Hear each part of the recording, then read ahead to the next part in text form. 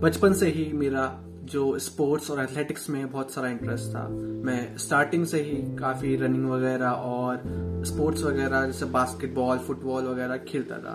तो उसी के साथ साथ मेरे को ज़्यादा डाइट वगैरह की नॉलेज भी नहीं थी।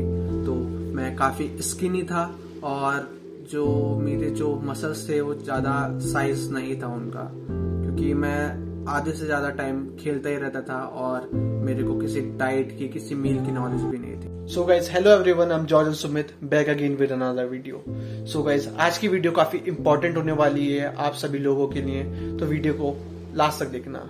और अगर आप एक नए व्यूअर हो तो वीडियो को प्लीज़ लाइक कर देना और चैनल को सब्सक्राइब भी कर देना। आज से कुछ 120 दिन पहले मैंने जो है जिम में पहली बार पैर रखा और अपना वर्कआउट वगैरह करना स्टार्ट किया। उससे पहले मैं काफ़ी कैलिस्टेनिक्स वगैरह करता था, पर इम्प्रॉपर नॉलेज और लिमिटेड नॉलेज होने के कारण मेरा जो हाइपरट्रॉफी था, वो गेन नहीं हो पा रहा था। तो आज की इस वीडियो में हम डिस्कस करने वाले हैं थ्री बिगेस्ट और most repeated mistakes I did in muscle building in transformation जो भी मैंने ट्रांसफॉर्मेशन रही, वो मैं काफ़ी जल्दी कर सकता था और काफ़ी कम टाइम में इम्प्रूव कर सकता था और गेन कर सकता था। पर इसमें ज़्यादा टाइम लग गया उसकी जो तीन कॉमन मिस्टेक्स हैं तो वो मिस्टेक्स मैं आप लोगों से शेयर करने जा रहा हूँ। जब मैंने पहली बार जब वर्कआउट करना स्टार्ट करा तो मैं एक बहुत पुराना वर्कआउट स्प्लिट फॉलो करता था, जो जाना जाता है और बहुत फ़ेमस है, वो है ब्रो स्प्लिट ब्रो स्प्लिट में होता क्या है कि हम डेली एक मसल को एक बार ट्रेन करते हैं और इसी के साथ हम वीकली में एक मसल पूरे हफ़्ते में एक मसल एक ही बार ट्रेन हो पाता है। और according to science it is believe that एक मसल को अच्छे से ग्रो करने के लिए हमें कम से कम वीकली उसको ट्वाइस ट्रेन करना चाहिए। नहीं तो उसकी जो डेवलपमेंट और ग्रोथ है वो प्रॉपरली नहीं हो पाती। इंडिया में एक ट्रेंड है मतलब अगर आप लोगों के आसपास आपके फ्रेंड्स भी होंगे, कोई जिम्नास्टिक वाला बंदा भी होगा, कोई जिमने मतलब कि जितने भी फिटनेस एंथुजियास्ट हैं तो उन लोगों का ट्रेंड है मतलब कि उनको ब्रो स्प्लिट फॉलो करनी है। और जब भी मतलब कि आप जाओगे जिम वगैरह तो वह आप लोगों को सजेस्ट करेंगे कि भाई, आजा ब्रो स्प्लिट ही फॉलो करते हैं, इसमें एक दिन में एक मसल बहुत अच्छे से करेंगे।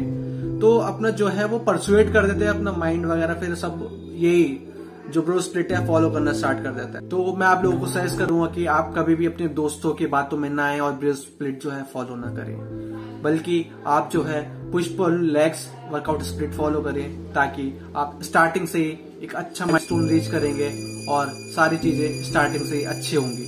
अगर आप लोग push pull leg workout split follow करेंगे तो आप एक मसल को वीकली दो बार ट्रेन कर पाएँगे और हर एक मसल को इजिली आप आराम से रेस्ट भी दे पाएँगे, क्योंकि इट इज़ बिलीव दैट अगर आपको एक मसल को ग्रो करना है तो उसको ट्रेन करने के लिए, उसको रेस्ट करने के लिए और उसके डेवलपमेंट के लिए आपको 48 आवर्स का रेस्ट देना है, बस।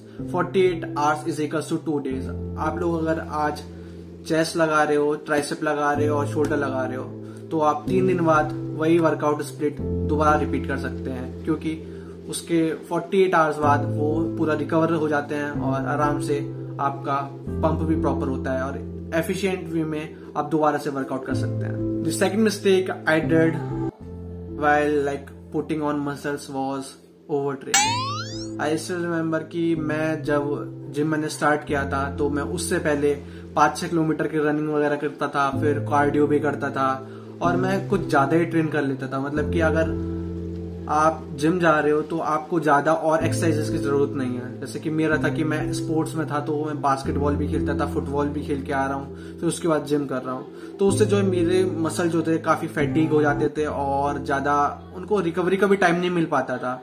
तो वो मेरी सबसे बड़ी मिस्टेक थी कि मेरे को जो एक्सरसाइज वगैरह है, ये ओवर एक्सरसाइज मैं कर रहा हूँ। उसको कम करा, फिर मैंने अपना प्रॉपर एक प्लान बनाया कि इस दिन इतनी वर्कआउट करेंगे, इतनी एक्सरसाइज करेंगे। और जो वीकेंड थे उसमें मैंने अपनी जो स्पोर्ट्स वगैरह था, वो इन्वॉल्व कर दिए थे। और जो ये फालतू की रनिंग वगैरह थी, जो मैं डेली कर रहा था, वो मैंने बिल्कुल रिमूव कर देती अपने वर्कआउट प्लान से। At last never over train your muscle never train your muscles in excess because muscles भी यार एक पार्ट है बॉडी का, इनको भी रेस्ट चाहिए होता है प्रॉपर रेस्ट चाहिए होता है। तो हर चीज़ का टाइम रहता है मतलब कि अगर आप चीज़, आप किसी भी चीज़ को ज़्यादा एक्सेस में यूज़ करोगे तो फैटिक होगा इंजरी के चांसेस ज़्यादा रहते हैं। और फिर ज़्यादा एफिशिएंट नहीं हो पाता कोई वर्कआउट तो ये मेरी सेकंड मिस्टेक थी जो मैंने अपने ट्रांसफॉर्मेशन में करी। अगर मैं ये मिस्टेक नहीं करता तो ट्रांसफॉर्मेशन और जल्दी अचीव कर पाता। तो गाइस आखिरी और जो सबसे बड़ी गलती जो मैंने अपने ट्रांसफॉर्मेशन में करी, वो थी मेरी डाइट और प्रॉपर मील मैं, मेरे को अभी भी याद है कि मैं जब भी वर्कआउट वगैरह करने जाता था तो ना ही कोई प्री वर्कआउट लेता था, ना ही पोस्ट वर्कआउट रहता था। जो नॉर्मल मील्स वगैरह थी, वही उस पर डिपेंड रहता था मैं अपनी जिमिंग स्केड्यूल में भी। तो वो मेरी सबसे बड़ी मिस्टेक थी आई थिंक और बहुत लोगों को पता है कि मतलब कि जिमिंग वगैरह में डाइट अलग से होती है। पर आधे से आधे लोग ये इग्नोर करते हैं कि वो नॉर्मल जो मील्स वगैरह वही लेते हैं, और इसके लिए एडिशनल प्रोटीन एडिशनल मतलब कि एक्स्ट्रा डाइट वगैरह वो इन्वॉल्व नहीं करते। तो एट लास्ट वो जो उसमें डायरेक्टली और इनडायरेक्टली जो उनकी मसल डेवलपमेंट में बहुत अफेक्ट करता है और मसल ग्रोथ बिल्कुल नेग्लिजिबल हो जाती है। So in order to put on good muscles you really have to work on your diet and proper meal आपकी डाइट और जो मील है, वो प्रॉपर एक न्यूट्रिशनल होनी चाहिए। उसमें सारे कार्बोहाइड्रेट्स प्रोटीन फाइबर सब कुछ इन्वॉल्व होने चाहिए ताकि आपकी बॉडी की रिक्वायरमेंट पूरी हो और मसल अच्छे से ग्रो करे। तो अगर आप लोग जिम स्टार्ट कर रहे हो और अगर आपने जिम अभी स्टार्ट किया है तो मेक श्योर sure करना कि आप डेली जो है अराउंड फाइव मील्स अपनी जो स्केड्यूल में इन्वॉल्व करें।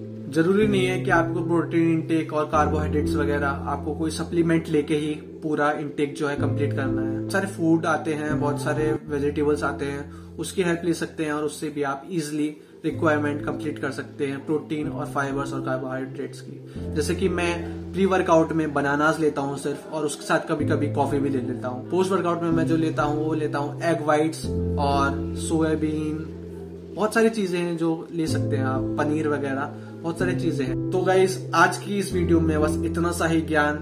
डिस्क्लेमर ये है कि मैं कोई फिटनेस ट्रेनर नहीं हूँ। ये मेरा पर्सनल एक्सपीरियंस है, जो मैं आपके साथ शेयर कर रहा हूँ। तो जो भी मैंने मतलब कि प्रॉब्लम्स फेस की अपने ट्रांसफॉर्मेशन में, वो आप लोगों के साथ शेयर कर रहा हूँ कि मेरे छोटे भाइयों को और मेरे भाइयों को साथ वाले भाइयों को वो प्रॉब्लम फेस ना करनी पड़े तो गाइज आई होप ये वीडियो आपको अच्छी लगी हो वीडियो अगर अच्छी लगी हो तो प्लीज वीडियो को अपने एक फ्रेंड के साथ शेयर जरूर कर देना ताकि उसको ये प्रॉब्लम जिमिंग लाइफ में फेस ना करनी पड़े